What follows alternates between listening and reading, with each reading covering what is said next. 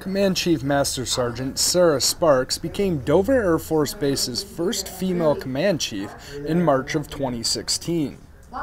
It was a wow moment. I was probably not expecting that actually to happen. She began her career in supply before becoming a professional military education instructor and discovering her love of working with airmen.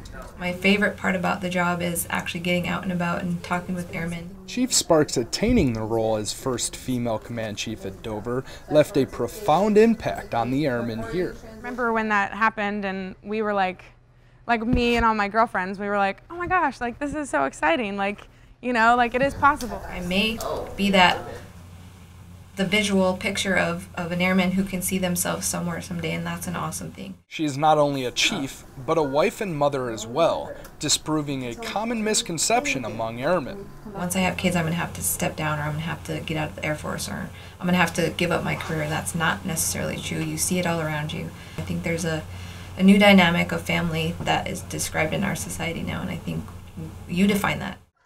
Airman Michael Connors, Dover Air Force Base, Delaware.